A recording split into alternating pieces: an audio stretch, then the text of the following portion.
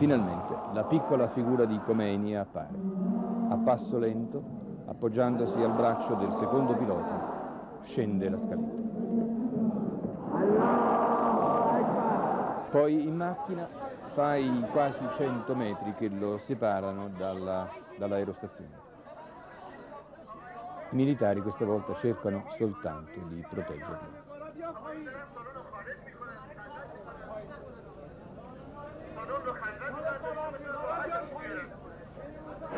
Un giovane legge il messaggio di saluto. Sei l'Abramo del nostro tempo.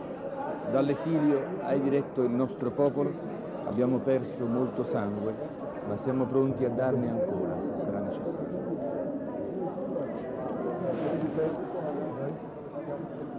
La vostra unità, risponde Khomeini, ci ha fatto fare questo primo passo verso la vittoria.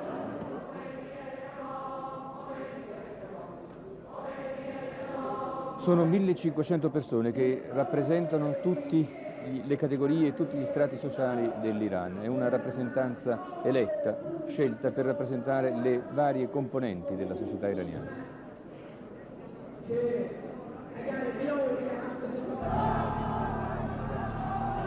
Fuori, eccolo, in viaggio verso il cimitero dei martiri, lo aspetta una folla immensa.